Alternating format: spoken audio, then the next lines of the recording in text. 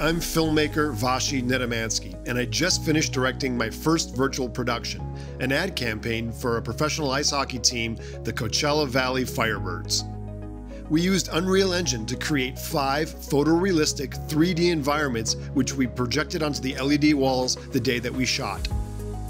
The two most important things that helped make our project successful was an unbelievable artist and an amazing workstation.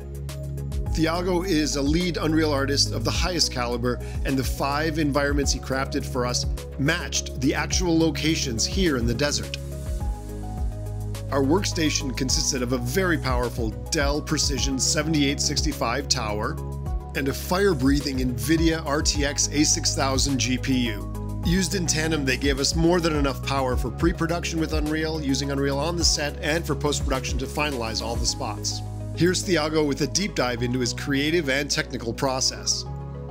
So here we have the first environment. There's no force. We're to talk a little bit of the challenges and the tests that went into building this environment, uh, including the part that's the most important one, which is to get the topology map of the valley into the scene. So as you can see here, let me just fly a little bit further away so we can take a look. Uh, there is a, a mountain range where our volume, LED volume area is located. And as you can see, there is also a huge geometry of the entire valley with some mountains in the, in the back there.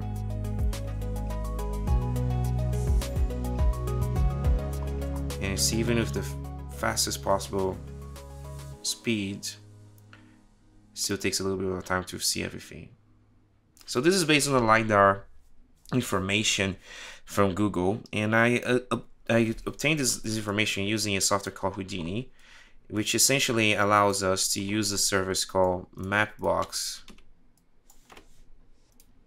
and this service essentially gets your longitude information and how much of that information that you want to go through. So I ask it for a 10 kilometer square uh, information uh, slice. And as you can see here, it, essentially gets all the topology of the area. It gets a rough uh, satellite texture that for far away is kind of useful. And what you can do with this, you can either export this as a geometry or you can convert this into a landscape that you can use inside uh, Unreal with the landscape too. What's also cool about this is that you can also get something called a US OSM filter, which essentially dictates uh, with uh, planes and geometries all the building information that is available. So essentially, we can rebuild all the cities in the valley and get the information inside the engine. I didn't specifically did this for this first environment here, and the reason for that is because we don't really see it from far away, especially because we are dealing with a snowy environment. As you can see, there's like a small snow falling around and it's very foggy there. So you won't be able to see it anyway. But from some other environments I use that information, including the road information too that you get from the OSM data to construct some of this uh, environments back. So this thing here is all the roads, all the highways, all the uh, dirt roads, whatever you can you can imagine. You can see there's even some roads for some condos too, walk roads. So you can essentially export this information to Unreal and get that to build the entire uh, structure of the valley, which is really cool. You can even see the trails that go up the mountains too that people might take. Those are the map trails. So, so yeah, for this one in specific here, we really just needed the geometry from far away and, and a rough texture. You see I didn't even bother to add uh, trees to this environment because it will be getting super heavy and we're trying to be performant. That's because, as you can see here, every time I press one on my keyboard, I go to this tiny area here where you see these volumes here. That's where the LED screen will be. And as you can see, when filming this on the volume, you wouldn't be able to tell there's no mountains there anyway. You have already the mountains you need around here. And that's what matters, right? There's some uh, wind blowing the, the, the trees. Those are speed trees. Uh, they are also built inside the, the engine. As a matter of fact, if you navigate through the project here, right, inside foliage. And you can see some of the the trees that I created. So this is not for this environment, but there's a model inside a software called SpeedTree, which essentially is a foliage uh, creation software that you can just build any complex different types of uh, trees. And this is one of them. It's kind of loading the materials as you can see the top bottom right here. And they have multiple levels of detail. This one is the LOD 0, which means it's the highest detail level. But as you go further away, you can see that the LOD changes. We can actually change here, and you can go from the very low poly, very far away, to the very high poly close by. So the trees that you see in the scene, same idea. Uh, this was based on a pack too. There's some assets there for a pack. I repurpose some of the assets from that pack and from the environment to kind of uh, make this clearing. One of the cool things here, let me show you. Some of that is invisible. So what I'm going to do is just make sure they're all visible again. And this is a representation of the LED panel walls. And what I want to show to you is one of the things that we need to really be mindful when we're dealing with virtual production that this projection here is reading whatever is on the other side. So one of the things that I needed to do essentially is creating these volumes here, as you can see, and they essentially exclude all the foliage from this mountain, from this area. So you might be asking, Thiago, what exactly does that mean? Well, if I go here to this mountain uh, volume here that I created, I essentially am loading this snow force pack. And in, in this, there's a bunch of different assets, including the trees, the breeze, and each one of them, for example, let me take this tree here, for example, has the information, and this is the tree, by the way, if you're curious to know what that is. So here's what I'm going to show it to you, just to explain this concept, right? I had to clear this thing here, because any intersecting geometry will be projected in the LED wall. And the idea is we want it to be clear of any intersecting geo. So what I'm going to do and in order to showcase you, I'm going to drag that into our environment. So going to get a tree here. And you can see right away, as I'm dragging the tree, you can see the tree in the projection there. And if depending where this tree is, you can see that it completely over um, takes over the projection center, which is not what we want. So the entire area needs to be clear. This needs to be pushed further away somewhere else in order for this to look better, right? So your set dressing needs to be done into an area that is clear. And you're gonna notice that some of the volumes that I created, they're called procedural blocking volumes for foliage. They essentially do that. They remove everything.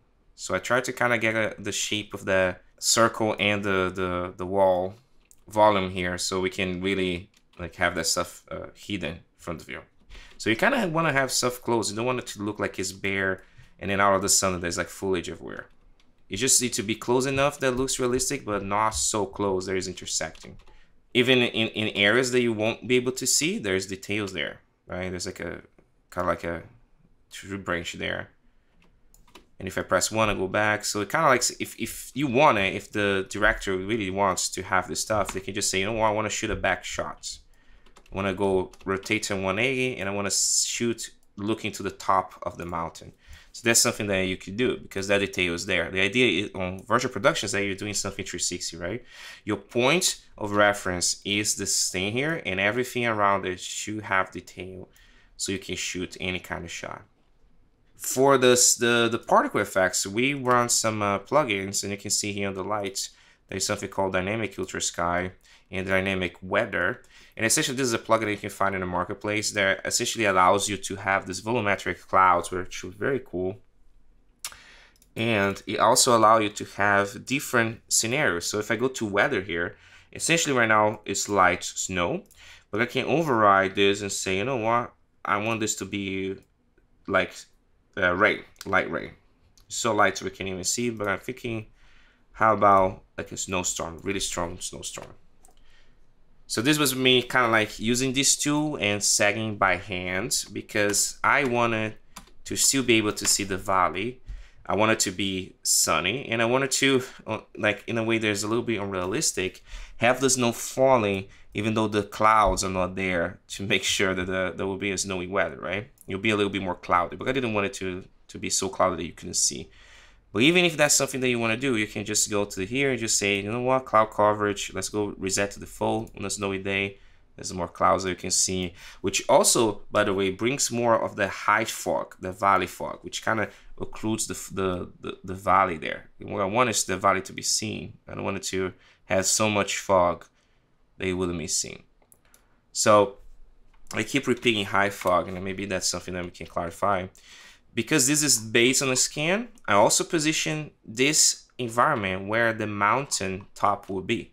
So essentially it's calculating the distance from the very bottom of the valley all the way up to make sure that, that whenever this fog is rendered, this is being rendered realistic, right? So this foggy would be in, in the valley if this was like a, a snowy day, and you wouldn't be able to see from the very top of the mountain. It's essentially, essentially how it should be if this was realistically done. It's all done so the view for here makes sense. I wanted to have, even if the camera was a little bit up, I wanted to have some trees here, kind of like in the way, you know?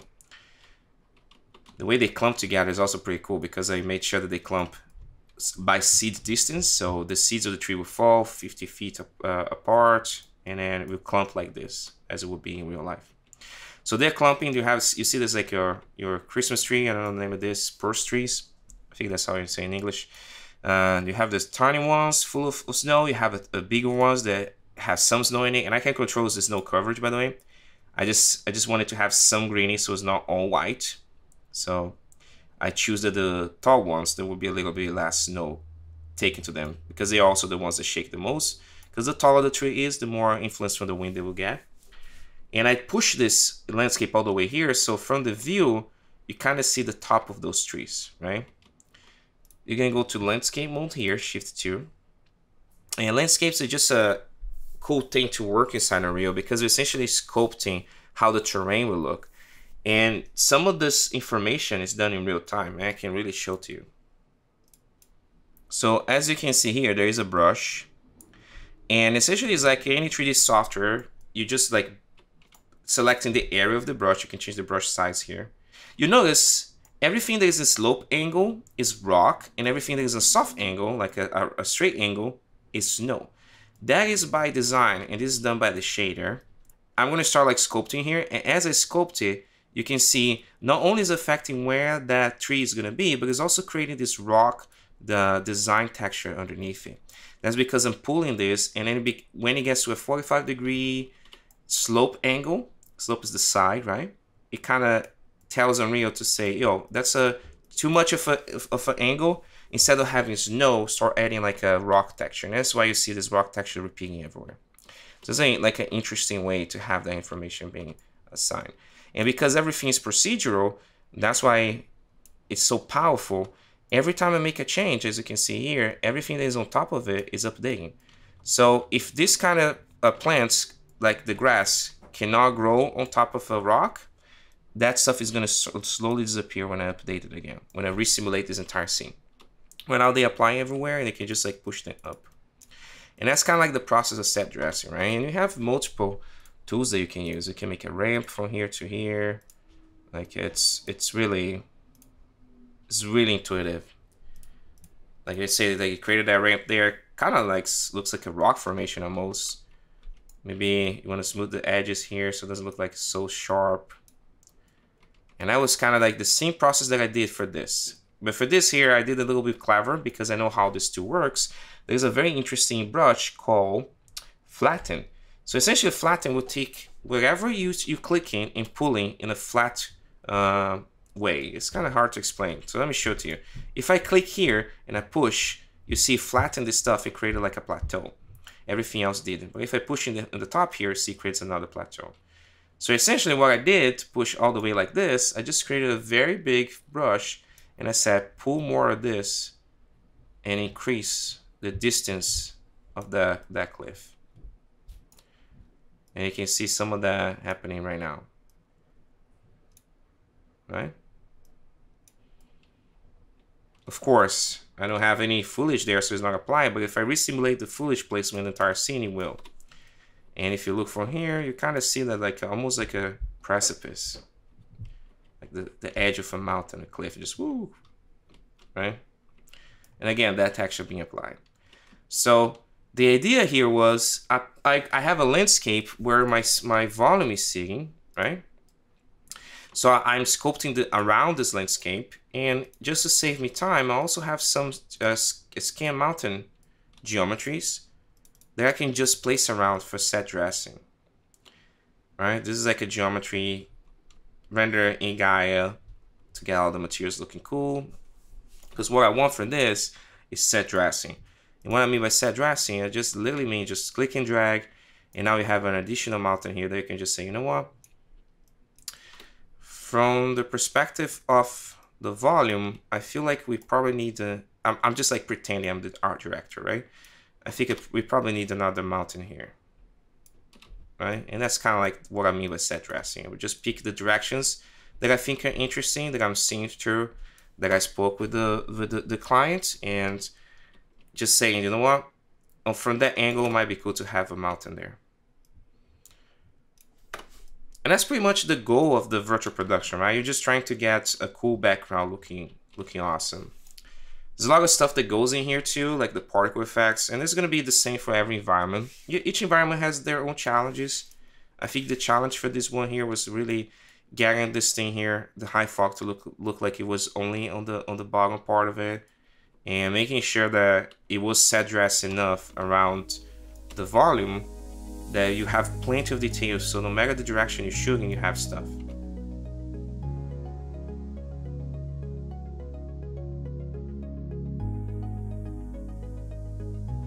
This is the second map that we have here, Joshua Tree Desert. Essentially, I'm reusing the same workflow that I did for the other one, just a different environment. So using the same techniques, the landscape, the sculpting, as you can see, sculpting some uh, small hills, some uh, uh, grass patches, having some of the sand accumulate some areas, and then set dressing with rocks. And these are all from Quixel Megascan. And as you can see, there's some trees here, okay, also from SpeedTree. They are specific from this area. And I created an SP3 and an import inside Unreal just to set dress the scene a little bit. And you can see that I flattened the area there and put like a sand texture with a small transition to little bit slope down to this valley here where I have all the cactus, all the foliage that I generated procedurally. And then went and added these rocks that are very particular from the environment. Again, making sure that this looks cool from the perspective of the LED wall. So all this is set dressing around. Tiny details like the foliage everywhere. You can see here while I zoom in, it loads the high fidelity one. And you can see most of this stuff is not even in the highest fidelity, like the rocks. They don't need to be high fidelity for this. this we need to remember this is for virtual production, right?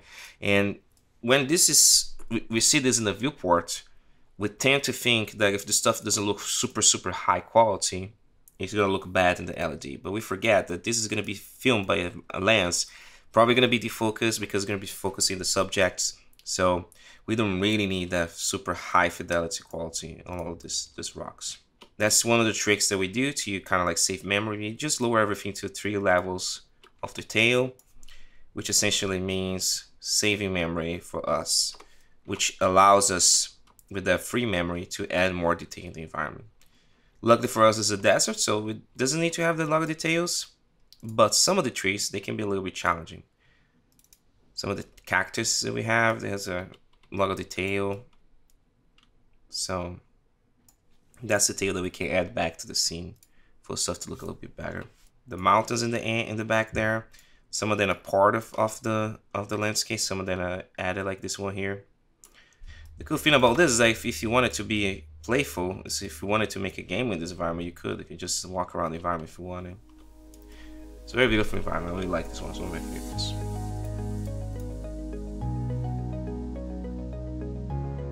This is environment 3, Kelso Sand Dunes. Same workflow as the other ones. This is a massive landscape with a lot of geometry, you know, very back to kind of like the look. Same uh, sky, also same time of the day as the, as the last one. The only difference here is that this is literally in the in the middle of the desert. And the way that I achieved this look was just have a low a, a low opacity rolling texture uh, through the, the landscape. That makes it look like it has sand going through it. It's pretty interesting. It looks very nice. As you can see, some foliage flying with the wind. I also make sure to add some particle effects that I repurpose from the snow one for the first environment from the snow top on the mountain and it just changed the color to be a little bit brownish so it looks like it's sand being blown with dust on top of that I added this uh, footage from ActionVFX which is a real element by the way of lingering fog just moving around and what I did was just added like a a texture of sand to it so it almost looks like it's sand just being blown around and just moving back and forth. This give this look. This looks very dirty, very sandy-like. And this is just like set dressing. There wasn't much to do in this environment, so I tried to kind of like add details here and there, adding some small uh, rocks around. So there's a, a tiny shadow being cast. This is supposed to look very bare, and as it does. So the idea of the set dressing here is just adding stuff that's very subtle, just to kind of give a, a, a more readable desert look. I want a dune to be there. I like the framing, but I feel like we're missing a dune in this area here. So we have like a few variations of different dune geometries that we can just place whenever we want. And what I was looking for is just like this very like the peak of the dune and then you can start seeing like the S curve of the dune. I was very happy with this one. I think it's very subtle. It looks very, very beautiful, especially because of the, the subtle details of the sand moving through the surface. I think looks pretty cool.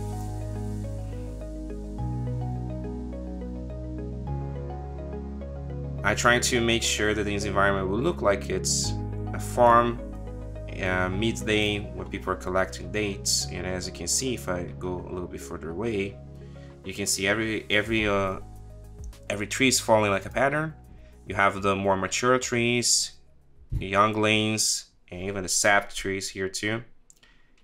And they will all design on a grid.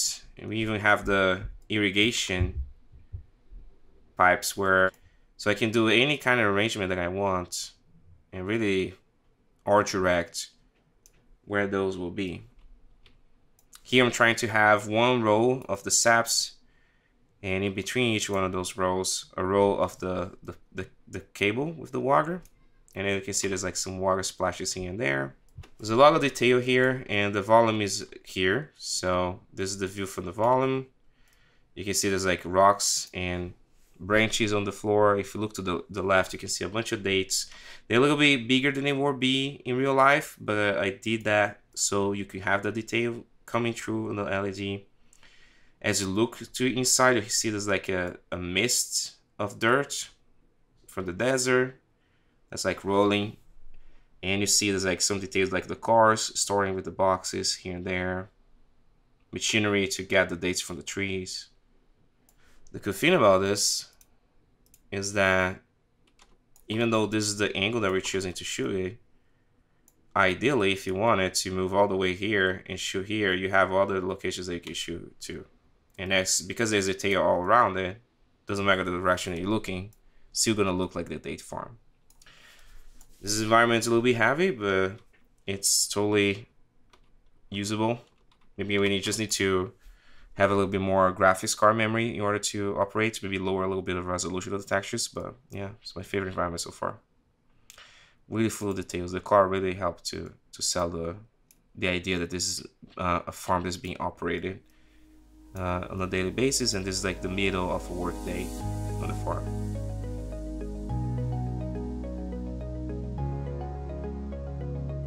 This is the last environment. This is the HQ for the Firebirds.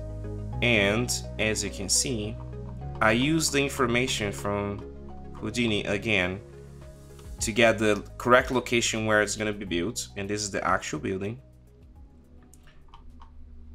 And place based on the satellite data where some houses will be.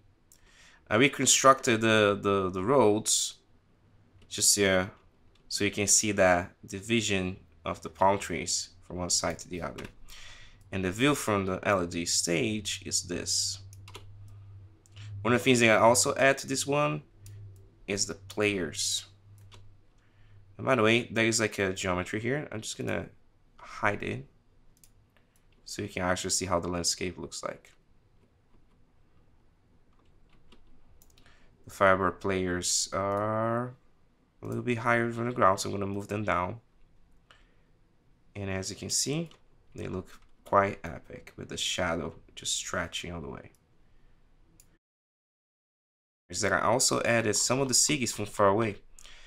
I wanted this to look like it's a live space from far, from the from above. It kind of looks weird because there's no details, but what we really want is this angle, right?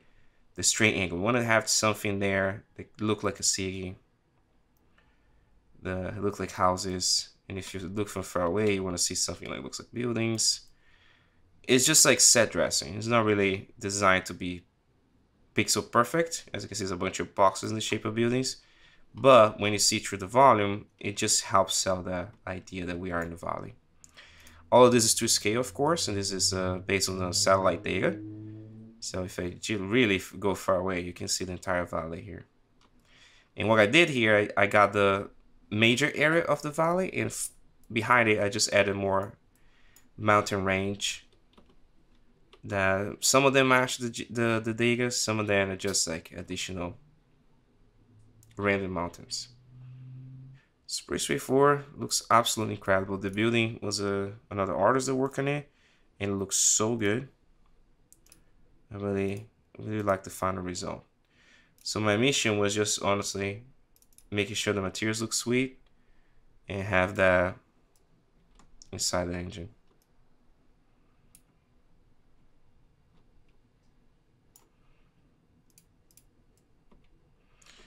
So from what you can tell, it's like the same workflow over and over, essentially. It's pretty straightforward once you master. That's why I spent some time in the snow environment showing you how to uh, do some of those tasks. But essentially, it's just like picking your landscape, getting the satellite information, uh, pulling there so it looks correct inside with the proper scale inside Unreal, exporting the information from buildings, the information from roads, Sometimes use a reference like I'm using here to map that stuff. I kind of try to follow how it is across the street. And this one in specific, what really helps sell the idea is to have some of the players and the roads, the cars, so it really looks like it's a place that resembles the real life. Thank you for watching, and a big thanks to NVIDIA and Dell for collaborating with us to make this possible.